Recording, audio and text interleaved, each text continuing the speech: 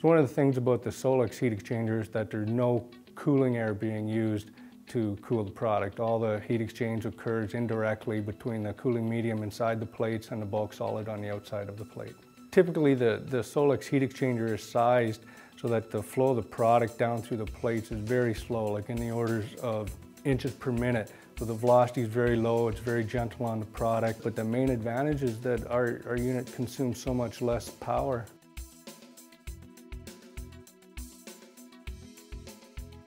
The Solex heat exchanger is quite efficient from a thermal point of view because all of the heat is being transferred between the product and the liquid in between the plates, so there's no heat loss to the outside like you would have in a direct exchanger where all the air that's leaving the product or leaving the unit would be carrying heat away with it. The Solex uh, technology is a very compact piece of equipment with a very small footprint. This makes it ideal for um, locating in tight spots in plants in a plant retrofit project.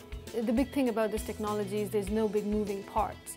So, which in itself makes the maintenance cost a lot lower. You're not dealing with any high um, RPM rotation equipment. It gives us the ability to recover energy.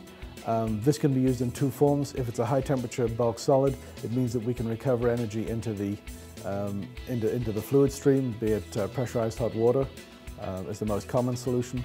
Um, alternatively, it can be turned around, and if a plant has, uh, has heat available in the form of a, that can be captured into a hot water stream, that can be used as a, as a heat source to, to heat a cold bulk solid going into that process. It's a very well engineered product with, uh, um, with detailed thermal, thermal design, which means that we can totally guarantee the uh, thermal performance of the equipment. We've had customers that have used our technology, that have justified our technology um, on the basis alone of uh, energy savings and have been able to pay back for the investment in a matter of uh, a few years, uh, uh which is basically why uh, customers have, have gone to our technology.